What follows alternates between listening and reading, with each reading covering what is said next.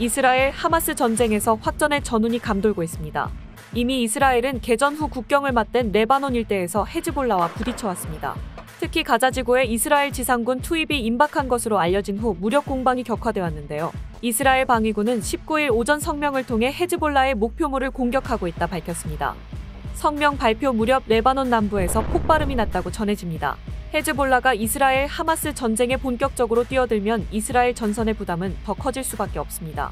헤즈볼라는 예비군을 포함한 6만 명의 병력을 자랑하고 이스라엘 영토 깊숙이 공격이 가능한 정밀 유도 미사일이나 대전차 미사일, 드론 등을 보유해 하마스보다 전투력도 월등하죠.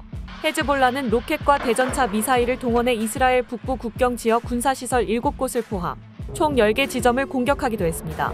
이미 국경지대에서 크고 작은 군사 충돌이 잦은 만큼 헤즈볼라는 이스라엘을 상대로 중대한 전쟁을 치를 준비가 됐음을 경고하는데요. 이스라엘의 가자지구 지상전 여부가 헤즈볼라의 본격적인 참전 여부를 가릴 중요한 기로가 될 것으로 보입니다.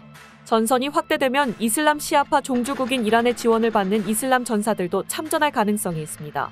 이슬람 지역에서 계속해서 확대되는 전선에 중동의 화약고에 붙은 불꽃은 잦아들 틈이 보이지 않습니다. 이미 이스라엘은 이란과 가까운 시리아에 대해서도 공격에 나서고 있는데요. 시리아 내전 감시단체인 시리아 인권관측소에 따르면 이스라엘이 시리아군 진지를 공격한 후 쿠네이트라 지방에서 폭발음이 울렸다며 골란 고원에서도 폭발음이 들렸다고 전했습니다. 지난 12일과 14일에도 시리아 알레포 공항이 이스라엘의 공습에 당하기도 했죠. 이에 중동에서 제3의 전선이 열리는 건 시간 문제라는 국제사회의 우려도 증폭되고 있는데요. 미 국방부는 19일 미 해군 전함이 예멘에서 발사한 것으로 보이는 다수의 발사체를 요격했다고 밝혔습니다. 홍해 북부에서 작전 중이던 미 해군 구축함 카니호는 예멘 후티 반군이 발사한 순항미사일 3기와 드론 8기를 발견한 후 SM-2 미사일로 격추한 것으로 알려졌습니다. 팻라이더 미 국방부 대변인은 미사일이 정확히 어디에서 발사됐는지 불분명하지만 홍해를 따라 북쪽으로 비행 중이었고 잠재적으로 이스라엘 목표물을 노렸을 가능성이 높다고 말했습니다. 예멘 후티 반군은 이스라엘의 적대적인 이란의 지원을 받는 단체로 이들이 장악한 예멘 수도 사나에서는 이스라엘을 비난하고 팔레스타인을 지지하는 대규모 시위가 벌어졌습니다. 이렇듯 예멘까지 이스라엘 공격에 가담하면서 이슬람 세력의 결집이 가속화되는 가운데 최근 며칠 동안 시리아와 이라크 내 미군 자산에 대한 드론 공격이 계속해서 이어지고 있습니다. 18일 정체불명의 드론 두 대가 미국과 반ISIS 연합군이 주둔하고 있는 시리아의 알탐프 기지를 공격했는데요. 라이더 대변인은 드론 한 대가 교전 중 파괴됐고 또 다른 드론은 기지에 충돌해 연합군의 경미한 인명피해가 있었다고 말했습니다.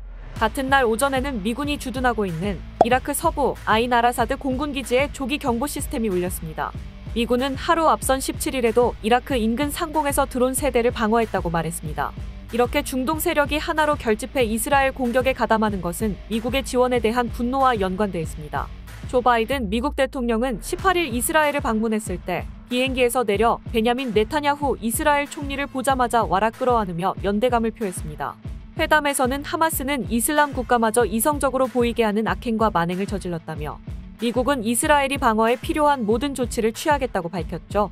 바이든 대통령의 이러한 지지 선언은 이스라엘을 향한 중동인들의 뿌리 깊은 혐오 정서에 기름을 부었다는 분석이 나옵니다. 또한 바이든 대통령에 이어 19일 이스라엘을 방문한 리시 수낙 영국 총리는 연대의 뜻을 표명하기 위해 이곳에 왔다. 영국은 이스라엘과 끝까지 함께할 것이라고 밝히면서 이스라엘을 향한 반감을 넘어 실제 무력으로 힘을 보태는 중동 국가들은 더 늘어날 것으로 보입니다.